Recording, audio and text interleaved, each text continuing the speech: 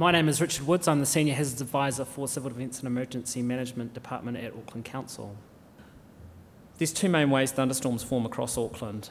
The air mass that's sitting over the land in, in Auckland gets warmer relative to the air masses that are still over the ocean.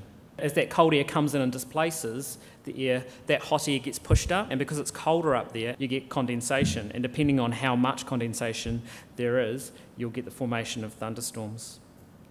The other type of thunderstorms that you get in Auckland is where you've got a cold front or a cold air mass moving as part of a low pressure system or any other system coming across Auckland. So you've got a, a, massive cold air that's moving across, and again, it's essentially the same process. You've got cold air pushing under a warmer air mass, it's lifting that air mass up into the atmosphere, and it's, crea- it's creating convection and subsequently thunderstorms.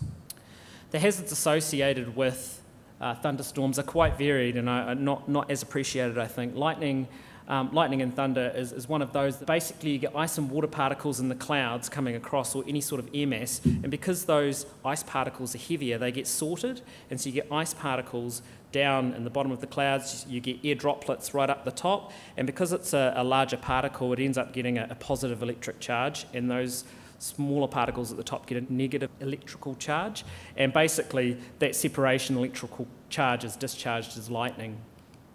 In New Zealand, we see about 50,000 lightning strikes each year from cloud to ground, and that doesn't include cloud to cloud sheet lighting. Um, comparatively, in Australia, they have, I think, 5 to 40 million strikes a year, and that's because it's such a convective, um, warm environment.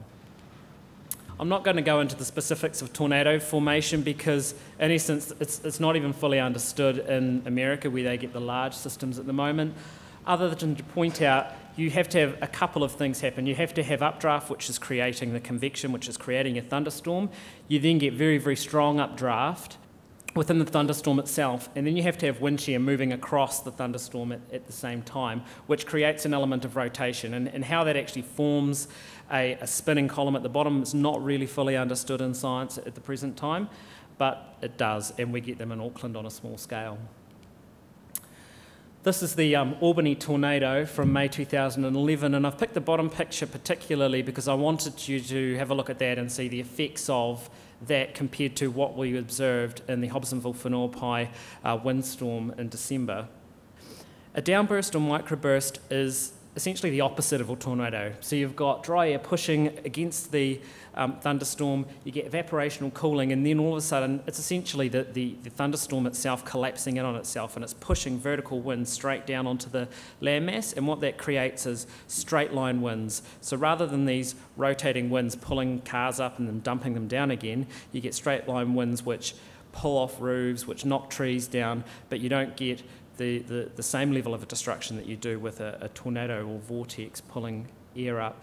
And just if you were to see, uh, look at a few examples of that from Hobsonville, there was a lot of destruction from these straight line winds, which can get up to 150 to 200 k's themselves. Um, flash flood's the most common associated with thunderstorm hazards, obviously. These images are from the last 18 months in Auckland. So we had the Glen Eden uh, event. This was uh, 3rd of July uh, up in Albany, and then the Hobsonville event in December. So these things are recurrent. They do affect Auckland frequently, um, and obviously we have to take um, adequate um, mitigation approaches. The last hazard associated with thunderstorms is hail. Um, Auckland, uh, this is an image uh, brought together by NIWA. Auckland gets two to four hailstorms annually um, comparatively to the coastal regions of the South Island and, and Taranaki, which are getting up to 16 or so. And, and it's really because you're getting more thunderstorms along the west coast of the South Island in that Taranaki region than you do in Auckland. To form hail, it's associated with those strong updrafts, so you get a little bit of cooling, those water droplets turn into ice, and then you get strong updrafts, and it just keeps pushing those ice crystals or pushing them up and around in the thunderstorm, and they collect more moisture until a point where that strong updraft can no longer fight with gravity, and your hail starts falling out, out of the sky. In New Zealand, we've had hailstones the size of cricket balls recorded. Um, and interestingly, golf sized hailstones in New Zealand, golf ball sized, are actually quite frequent apparently. Um, there has been no human deaths, but there has been a number of livestock and animal killed um, in New Zealand from hail. And as MetService informed me today, two goldfish in Canterbury apparently died a couple of years ago as well.